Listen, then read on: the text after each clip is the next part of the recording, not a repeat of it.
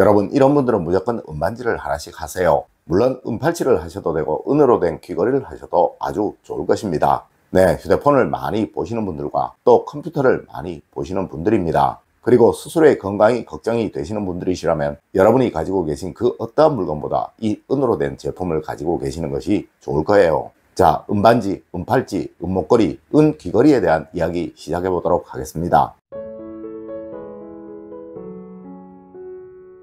여러분 안녕하세요 이정재입니다. 여러분 동의보감에 보면 이런 말이 있습니다. 은은 혈액순환을 좋게 해주고 또 심신을 안정시켜주는 효과가 있으며 몸 안에 있는 독을 판별해 줄 수 있는 능력이 있다고 말이에요. 네, 또 우리 수상론에서는 강에서 문제가 되는 곳에는 반드시 은을 사용해야 한다라고 말하고 있습니다. 하여 과거 왕궁에서는 물론이고 양반가라면 은수저를 하나씩 두거나 이것을 사용하는 것이 당연한 일이었고 또 필수적인 일이기도 하였습니다. 물론 이 은은 과거 화폐로도 사용이 되었기에 풍수학에서는 금과 더불어 대표적인 재물을 상징하는 물건으로 말하기도 합니다. 네, 은반지, 은팔찌, 은귀걸이, 또 은목걸이 등을 착용하는 것은 아주 좋은 것이라고 말하고 있다는 것이죠.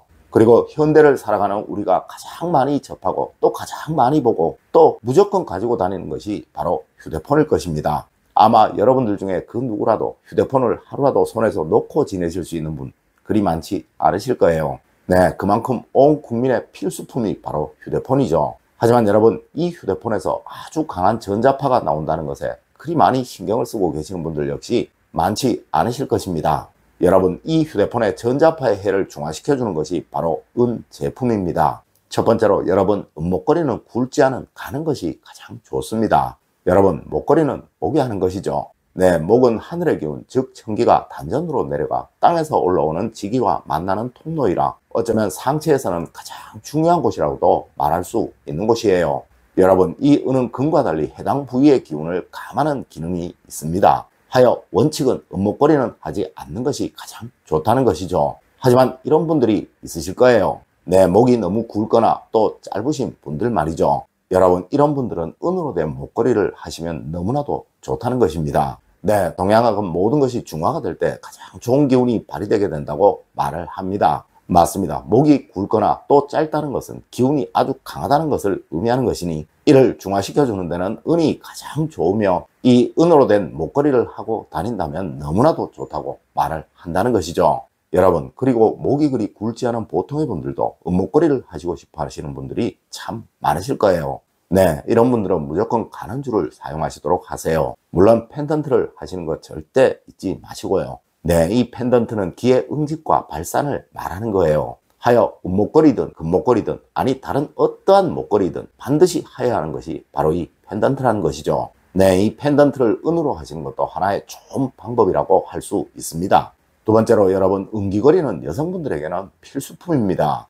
여러분 귀는 우리 얼굴에서 제복과 부귀를 상징하는 대표적인 곳입니다. 하여 어떤 시기든 부귀와 명예를 상징하는 것이 있어야 하는 곳이기도 하죠. 여러분 그래서 과거 조선시대에는 남성들도 무조건 하였던 것이 바로 이 귀걸이입니다. 물론 선조 때 국가에서 금지령을 내려 그 이후에는 이러한 모습들이 거의 사라지고 여성들만 귀걸이를 하게 되었지만 사실 이 귀걸이를 한다는 것은 재물복을 높여주는 데는 너무나도 좋은 거예요. 그리고 이 은은 금과 달리 살균력이 아주 좋아서 나쁜 세균들 거의 모두 약 650여 종의 세균들을 살균하는 효과가 있다고도 합니다. 아마 여러분들도 한의원에서 귀에 침을 놓아 치료를 하는 것을 TV나 매스컴에서 보신 적이 있으실 거예요. 네, 그만큼 이 귀는 또한 건강과 직결되는 곳이라고도 할 수 있다는 것이죠. 여러분, 하여 이곳에 음기거리를 하는 것은 너무나도 좋은 것입니다. 맞습니다. 여러분의 재물운을 높여주며 또 여러분을 부귀하게 만들며 또한 여러분을 건강하게 만들어줄 수 있는 것이 바로 이 은으로 된 귀걸이를 하는 거예요. 네, 아마 현대 거의 모든 여성들이 귀걸이를 하실 것입니다. 여러분, 금으로 된 귀걸이를 하실 것이라면 약간 늘어지도록 하는 것이 좋으며 또 은으로 된 귀걸이를 하실 것이라면 절대 늘어지지 않도록 귀에 달라붙도록 하는 것이 좋다는 거예요. 세 번째로 여러분 은반지는 여성은 중지에 남성은 소지에 하십시오. 여러분 재물운을 위해 금반지를 하실 때는 약지에 하는 것이라고 제가 이전 영상에서 말씀을 드린 적이 있었습니다. 하지만 은반지를 하실 때는 분명 남녀가 달리 해야 하는 거예요. 네, 여성은 신장의 기운이 가장 중요하며 또한 남성은 심장의 기운이 가장 중요한 것이기에 그러한 것이죠. 하여 여성이라면 거의 대부분 신장의 기운이 잘 살아날 수 있도록 만들어주는 중지에 하시는 것이 가장 좋으며 또 남성이라면 심장의 기운을 강하게 해주는 소지, 즉 새끼손가락에 음반지를 하시는 것이 가장 좋다는 것입니다. 물론 여성의 경우 위장의 기운이 약하신 분들은 가는 음반지를 하시는 것이 좋으며 또한 남성의 경우 생식 기능이 약하신 분들의 경우라면 이 역시 가는 음반지를 하셔야 한다는 거꼭 명심하시기를 부탁드립니다. 네, 이것이 바로 재물운을 살아나도록 만들고 건강운을 살아나도록 만드는 음반지의 착용 방법이라는 거예요. 네 번째로 여러분 체형이 크신 분들이시라면 은 제품을 누구라도 하나씩 가지도록 하세요.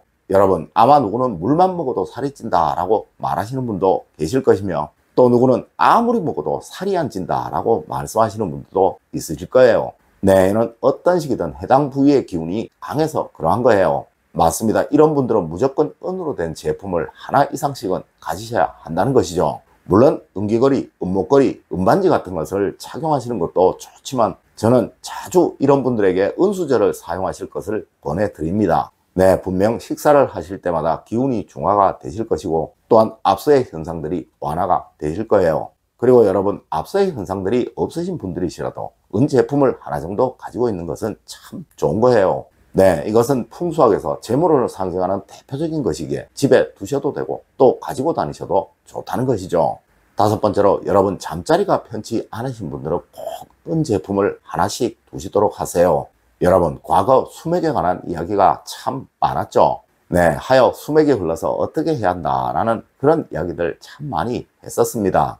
여러분 이는 과거 가로형 즉 평면형 주택 구조일 때나 적용되었던 이야기예요. 네, 현대와 같이 세로형, 즉 입체형 주택 구조에서는 전혀 의미가 없는 이야기라는 것이죠. 하지만 왠지 자고 나서도 몸이 무겁거나 또 찌뿌둥하신 분들이 있으실 거예요. 그리고 또한 항상 피곤해 하시는 분들도 있으실 것입니다. 여러분 이런 경우에는 꼭 은 제품을 방 안에 하나씩 두셔보세요. 네, 분명 달라지실 것입니다. 그리고 또 제가 다른 영상에서 말씀을 드리겠지만 침실에 은제품을 두는 것은 풍수학에서 집안을 번영시키는 최고의 좋은 방법 중에 하나예요. 네, 건강적인 측면이나 또 풍수적인 측면에서나 여러분이 주무시는 그 침실에 작은 것이든 큰 것이든 은으로 된 제품을 하나 이상 두는 것 참 좋은 것이라는 거죠. 여러분, 오늘은 은반지, 또 은목걸이, 또 은귀걸이에 관한 이야기를 해드렸습니다. 네, 이는 과거 우리 전통의 풍수에서 집안의 번영을 위해서 반드시 하였던 하나의 방법이기도 하고 또 자신의 또 가족들의 건강을 위해서 반드시 하였던 방법이기도 합니다. 특히 현대와 같이 휴대폰이나 컴퓨터를 많이 사용하는 경우라면 꼭 있어야 하는 것이 바로 은이라는 것이죠. 여러분 오늘 제가 알려드린 이야기 꼭 명심하시길 부탁드리며 오늘의 이야기를 마치도록 하겠습니다. 늘 올바른 학문과 올바른 지식을 여러분들께 전하도록 노력하겠습니다. 여러분 긴 시간 감사드립니다. 감사합니다.